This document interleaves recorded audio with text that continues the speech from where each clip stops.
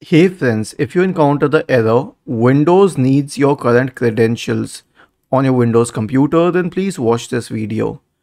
Click on the start button, right click on your profile picture here, select change account settings.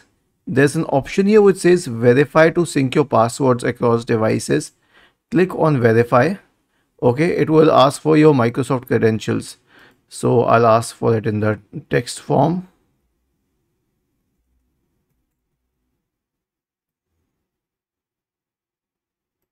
And then I'll ask for the sending the code.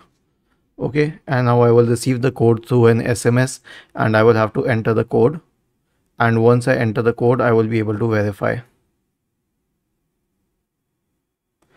Okay? So I will enter the code now.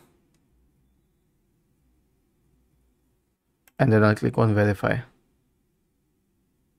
And once this error is gone uh, I will be able to uh, fix this problem and now I won't need current credentials. To the maximum I'll have to restart my system once okay? I'll have to restart it once and that will fix the problem. Was this helpful? If yes then please subscribe to the channel and if not then let us know in the comment section of the video on how we could help you further. Thank you for watching this video and have a nice day